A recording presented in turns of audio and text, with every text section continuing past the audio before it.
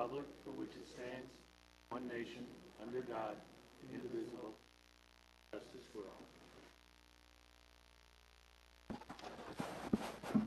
Thank you to all four of you who came this evening. Uh, Ms. McDonald is excused, Mr. Harrington is excused. Please join me in a moment of silence for Michael Bach, a graduate of the North Syracuse Central School District.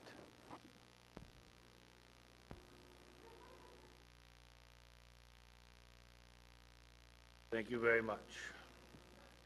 Presentations, Food Service Appreciation Week. Rather semi-lengthy proclamation. The North Syracuse Central School District food service staff have contributed to the health and educational development of our of our district's children by making nutritious breakfasts and lunches that help improve grades, increase attention, reduce absence and tardy rates, and improve behavior.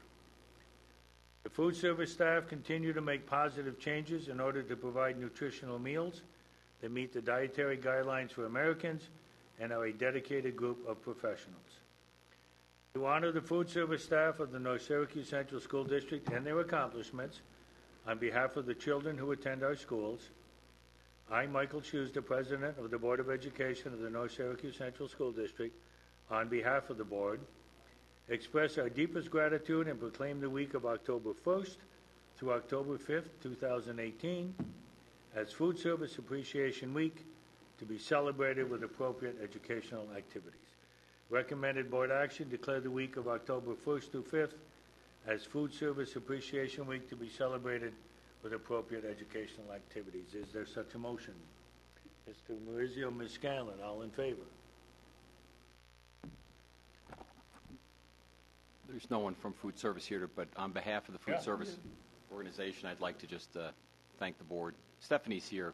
I, I know that, but she's busy cleaning up. I was going to say, yes. Just grab- just grab back her. cleaning up after all of us. But, yeah, But, but thank you. uh, okay, on behalf good of- thing. Yeah, relay it to Wendy and tell her, we bet. do appreciate everything, everything they do. Thank you. And that punch is awesome, isn't it? Oh, yeah, I, I, done, done. I stole some more.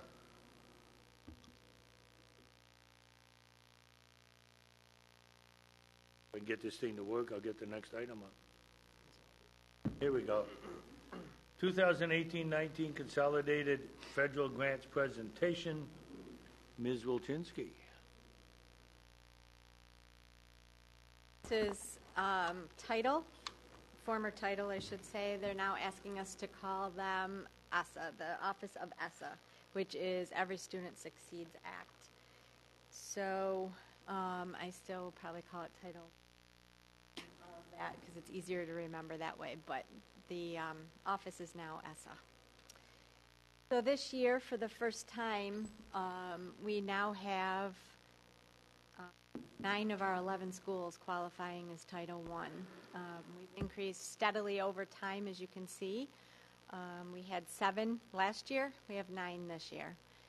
I my estimation, in good faith, CNS has always been in there when you look at the trends that come into it. Uh, but because uh, many students don't declare um, at that age, then um, I think it has made it more difficult. So I, I would assume that it is higher than 31%. Anything over 30%, 30 and 30, 30 and above, is considered um, a title school. And so we have some that are just right on the border, like Lakeshore came on for the first time this year. How this works is you take a look at the highest, which is Roxboro, Roxboro Road Elementary at 71%. Um, and then you take the money and you go from there. We treat all of our schools in title um, as if they need help because all of them do, but more emphasis would be on those that hold something higher. So, for instance, Roxboro Road has a higher need than Lakeshore. It, it doesn't um, mean that they don't get some assistance at Lakeshore. We, um, at this point, are these numbers.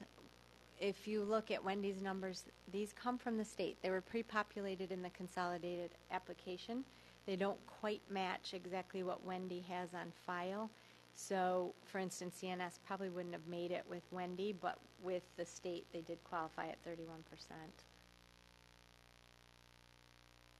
It- Right now, this is what we have as far as um, our academic intervention service people.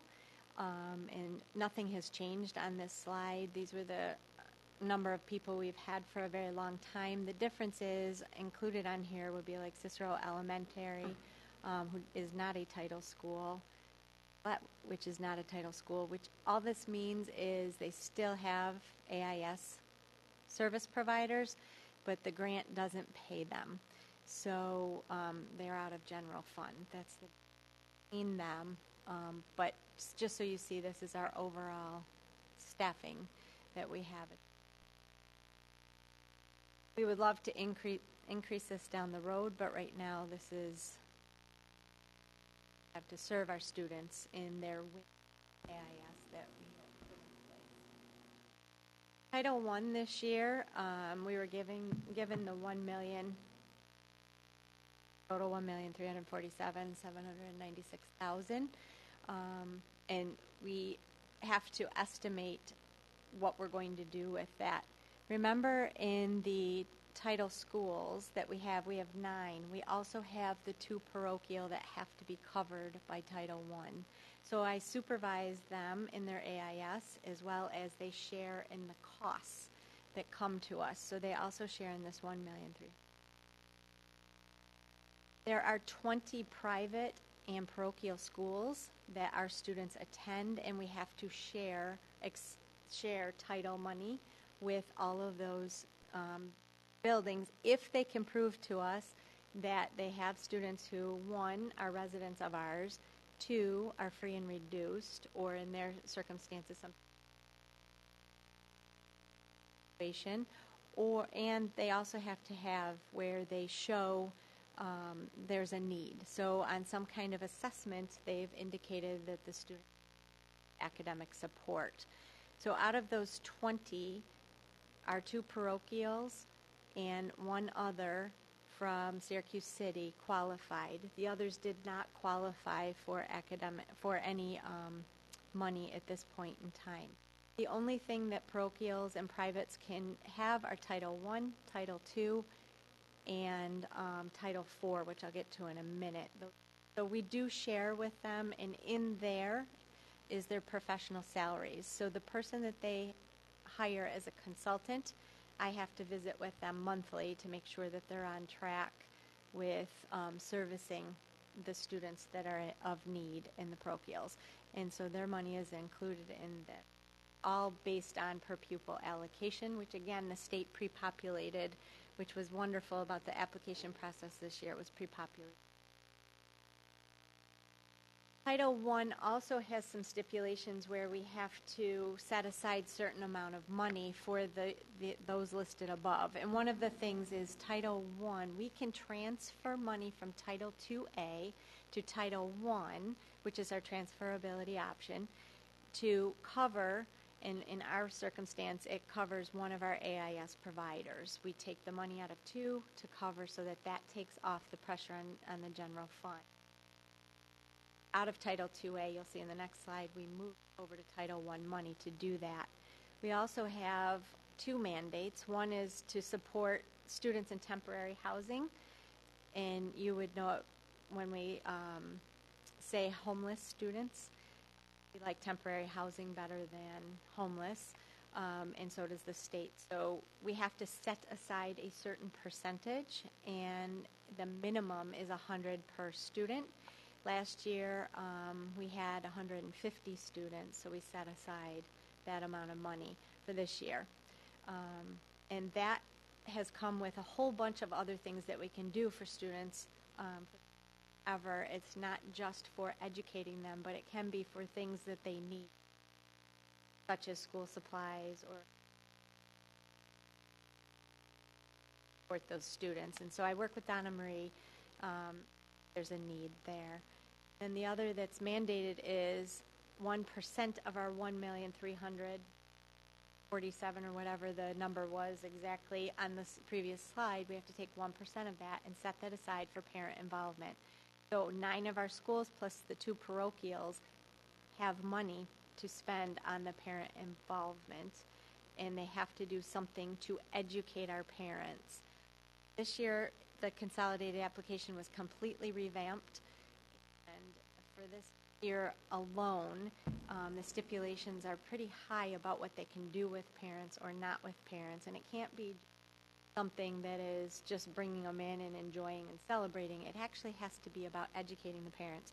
So all of those nine buildings are submitting proposals of how they want to use that money, and then we'll take a look at how they want to use and allocate from there.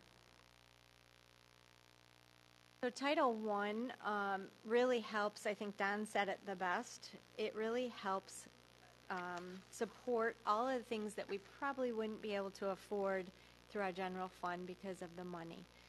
So up here is a list of all of the interventions that we use or the focus areas that we have within our Vision 2020. And all of those, ar- all of these things are our intervention programs. We had a guru from HMH, which is um, Houghton Mifflin Harcourt, um, come and take a look at our data. And what we noticed in our data is we've made great growth over about the two and a half years we've had some of these into play. However, we could make a lot more growth with the fidelity if we stuck to the program as is and intervened at the tier three intervention level. So, all of those programs listed in the first six bullets, um, well, in System 44 as well, are areas that we are going to use with Fidelity this year. Don has been so helpful in helping us to finish. These are K 12 programs now, and our AIS providers will be asked to remain within these programs to give our Tier 3 interventions with Fidelity to our students to intervene at a younger age, meaning we've moved System 44 that is in the past been at the fifth, sixth, seventh level We've now moved it to the third grade level. And that is a program that is the 44 sounds of the English language. There are 26 letters, but there's 44 sounds. And if we can get that phonological um, awareness sooner, then we're not going to see, as we found a 10th grader sitting up at the high school who cannot read right now, who has never had an IEP and has never been identified for anything, has had great strategies and made it this far, but unfortunately, we want him to be a reader, and she's sitting up there right now without that support. So we're going to put her on System 44 and get her that before she graduates. Those are the interventions that we're trying to put into play, and we're very fortunate to have Title I money to support those initiatives. Title IIA is around um, recruiting quality teachers and principals and preparing everyone with PD. This is the first year that Title IIA gave us focus areas. We didn't get to say what we wanted to do with the money unless we qualified why. They pretty much gave us about 10 different areas for us to spend the money in, and we chose those areas. So, for instance, one is to support our PLC work. So, you know that our teachers are working data and looking at the professional um, development of that within the building and getting them to understand that when we test kids on System 44 or iRead or 8 Read 1, whatever, and we're getting that data back, what do we do with it? How do we support kids? So we wrote that in. We wrote in, um, we have APPR, as you know, and there's an opportunity for principals to remain, um, you know, highly qualified by offering them professional development. We wrote in um, things like um, the mental health and awareness for kids. That was important to us. So um, Lisa got a part of this to work with those schools that have that. We put in for Rocks Middle. We have a TOSA on special assignment right now, a teacher on special assignment, and she's working with Donna Ryder. This is an opportunity to offer teachers more time to work with Donna Ryder or more time to work with other professionals that we feel um, we can support through this money. So it's an opportunity to do that. There's not as much money in Title 2A as there is in Title 1, and you can see, and, and our parochials get to share in this money, so they also um, benefit by this. And we also always invite them to come into our professional development with, with us without cost to them. We feel that it's um, community, they're our kids as well, and we have a nice relationship with them to do those kinds of things. See here that it's not a lot of money, but that $250,000 will um, pay our teachers to do extra things in the professional development area or pay for substitute a speaker or we want to do something Title IV is brand new this year. This is new to us and the first time that we've ever applied. In this one, you can see what it's all about. Um, it's for the well-rounded education um, to improve learning conditions and for technology uses. So out of those three, we had to pick an area. We did not choose technology as we feel that we have something already started in that. Don's working on that um, has the smart school money. We felt that that, at this point in time, was pretty um, supported. We really felt like the well-rounded education and the conditions were our areas of focus. And so, as you know, we have Lisa Goldberg, who heads that um, SEL, social emotional learning, um, for our district, and she doesn't have a budget, really, per se. She, we've had to go to Don, and Don has been very kind and generous to cover, like our Donna Ryder, who done trauma informed education or ACEs, which is about conditions kids come to us with, with and what do we do to support them in the classrooms or our behavior management systems, getting those processes and procedures. And so Lisa's whole focus has been this, and now Lindsay um, uh, Maloney has also been a branch of Lisa in, at Rocks Middle, um, as you know. And so this um, particular grant um, is $96,160. Again, we have to share this with the parochials, which we have, and they had to identify an area as well of where they would put their money. And it seems to always be around mental health, is where people seem to be uh, focusing their money. So Lisa has a nice um, budget to work with, and Donna Ryder among others, um, but Donna Ryder has been a big focus for us, offering our staff to get some um, tier. Again, it's tiered, just like so. It's multi-tiered um, systems of support. It's called MTSS. That this part is, and Donna Ryder has been really um, a big support for us, educating us about how to reach those students. It doesn't have to be an, a student who's been through trauma. There's all kinds of things that happen but Donna has been a foundation for all of us to learn from and to put some systems and processes into our schools so that we are equipped to help any child that presents with.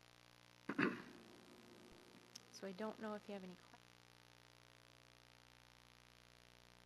We have one. I think you may have, you may have addressed it on the third slide. Uh, one showing the FTEs. Yes. Reference Gillette Road, but they're not a Title I school, but they have the equivalents. Is that a population thing? You It is. did state that those are not funded then through any of the, Correct. They're funded out of general funds. they fund. have just a higher population account.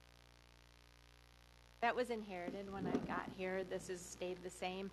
And we've talked about taking a look at the needs of the building, possibly switching around um, some staff. However, we're in this um, whole new um, our professional learning communities. They're now taking a look at data that are us into classrooms rather than pulling them out. So if we do that model to help students, no matter where they're at, to differentiate the instruction, we're finding that to pull them away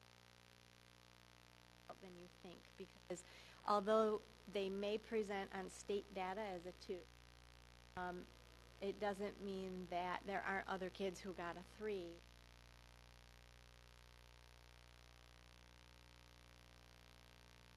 out being pulled out they can support all of those learners so we're i think we're in a process of trying to learn more about that and how we're we're operating and I, i'm guessing guessing i'm guesstimating that in about two to three years we'll be able to take look at that with the data we have, and are we populated the, way- the way we should be with the FTEs we have? Dr. Fafalia, the number difference is 1166 at Gillette as far as student I knew you were population. going to call me on that, because you shut that on Friday, and- and I should have, I looked it And, up. and Rox is uh, 811, so it's about 355 student difference.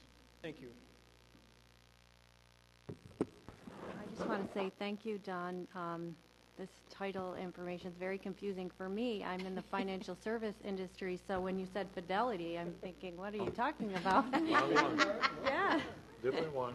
Right. So anyways, um, it's very interesting to see all the resources available and how you're utilizing them. Um, I'm just curious of the, when you have to share with uh, the other schools, the parochial schools, and is it just a one-on-one percentage of splitting the resource money, or how does that work?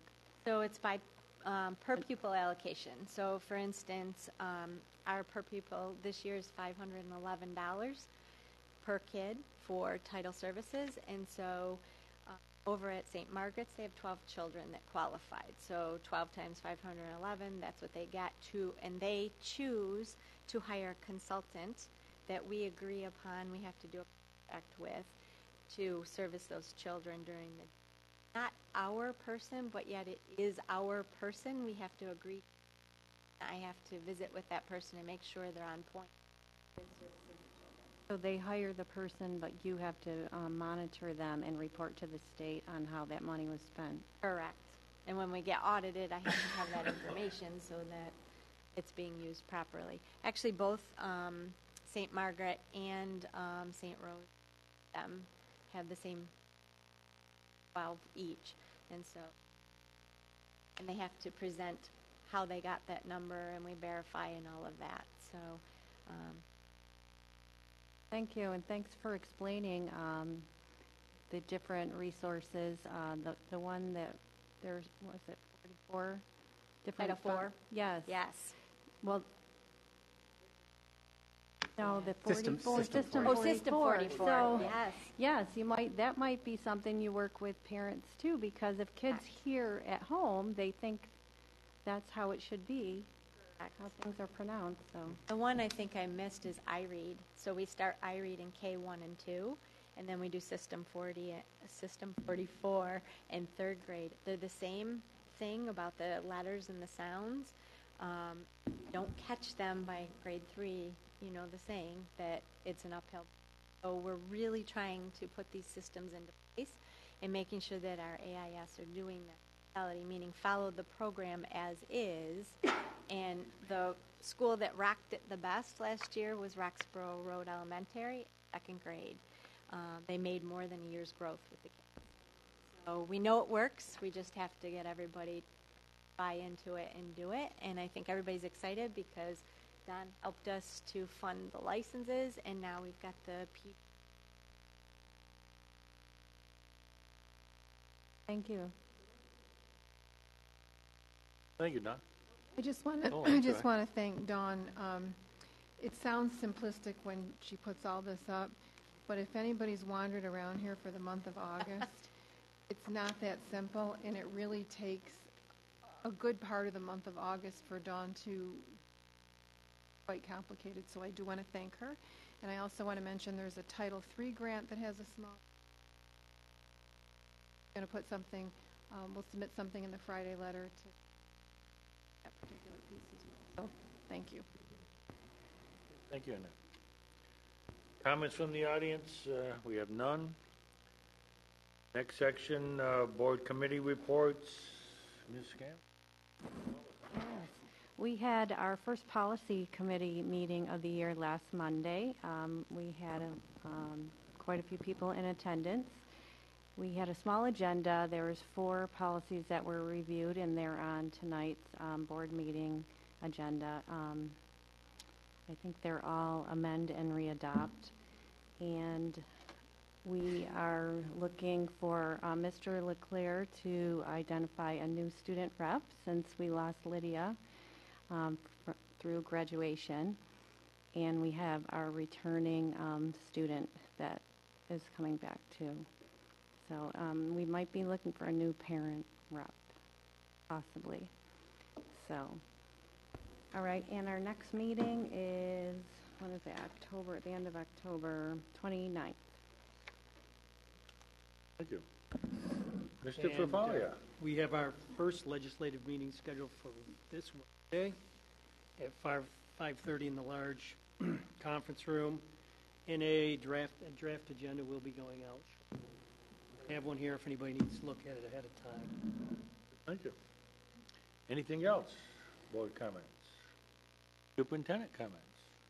So I have a couple of things. Um, If you're on the e-blast or the text blast, you would have seen today that information was sent out about a meeting. We are so excited to finally um, have this on. the way. Ruffalo, our new director, has kind of uh, love, and she's worked with a couple parents together. It really, I think, will help us um, in our focus area of inclusive education working with parents in a positive, proactive manner. So I'm very pleased to say that is, is out there and underway. Next thing I have is a really unusual. I just had to bring this to share. So we got a box the other day, delivery, and it was this was all wrapped in bubble wrap with a.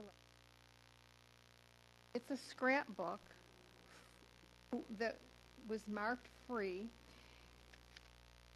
that this woman's husband found at a yard sale in Cornwall, New York. The scrapbook belonged to a woman named Lucille May Fox, who was the valedictorian of the 1941 graduating class high school. It is fascinating. She has old report cards in here, and Dawn and I, we were looking at this today because read the Friday letter, we're, we're thinking about studying maybe moving to trimester report cards and four quarters. So, you know, we've got a, we were saying we've got a long, a long track. Um, Did they use standards-based grading? no, they didn't use standards-based grading, but this is fascinating, and I'm going to, you know, if the board, any of the board members want to look at it. It is absolutely amazing, and she graduated when she was only 15 years old. There's all kinds of great information here. I am particularly interested. I read her, her graduation speech because she was valedictorian. Thoughts in it that I think I'm going to steal or use. I'll give her credit, of course, um, but to weave into um, one of my talks as well. But absolutely fascinating. So after we're done looking at it, I think I'm going to send it up to high school because she talks a lot about the war and the economy and things that were happening at that particular point in time. And I'm sure, Carol, that the social studies department would love to get their hands on this. So um, it's, it's really, it's really, it's really awesome. And I'm going to send this woman whose husband picked it up from this Lucille um, a thank you note for sending it to us. I know it was for the class of 48, we saw that. Um, I think so. And, and here's another thing that was interesting. She was only 15, but she stayed on for an extra year, like they allowed people to stay longer after they graduated. So there's even things in here from the class of, of 42.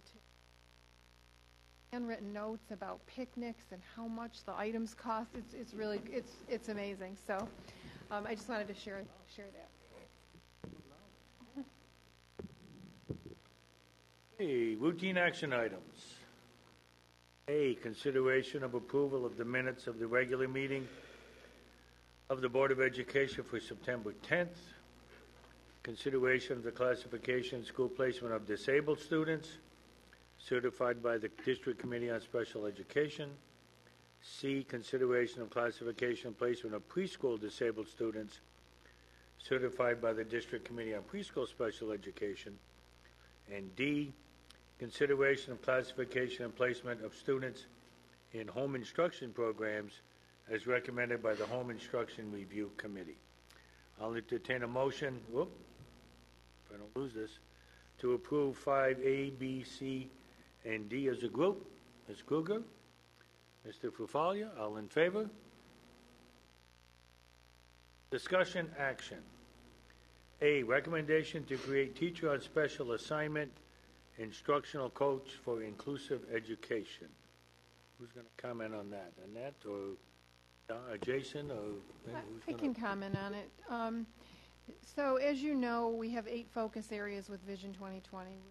Education being um, probably the first of the eight that we've started studying a few years ago.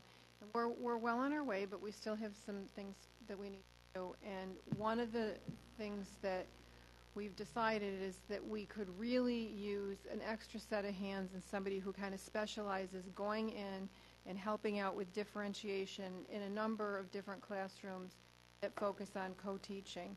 Um, so we envision that this person will work with classrooms for special education programming as well as probably the English language learners because as you know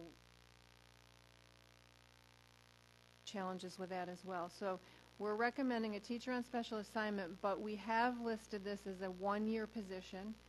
So we'll work with the union to hold that person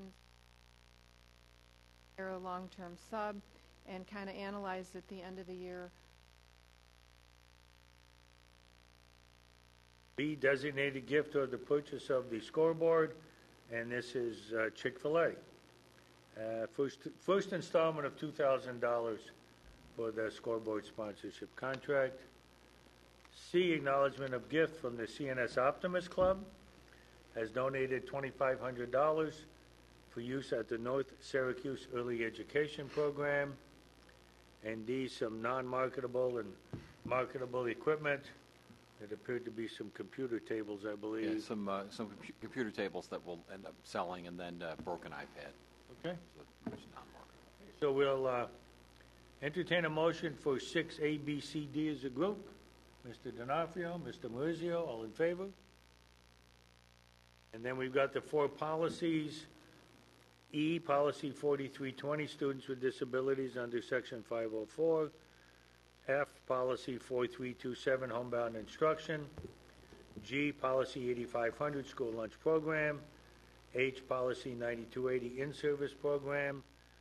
So entertain a motion for 6E, F, G, and H. Ms. Scanlon, second. Mr. Fafalia, all in favor? Carried.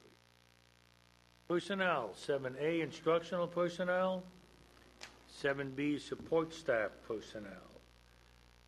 Need for any discussion or a motion to approve both? Mr. Marizio, Mr. D'Onofrio, all in favor? Motion for executive session. Motion to move to executive session for the purpose of receiving an update on negotiations with the North Syracuse Education Association and the Middle Managers Bargaining Units, to receive an update on one legal matter relative to potential litigation, and to review the employment history of five individuals with no action to follow. Motion for executive session, Ms. Kruger, Mr. Thorne, all in favor. We'll go to executive session, 7:37.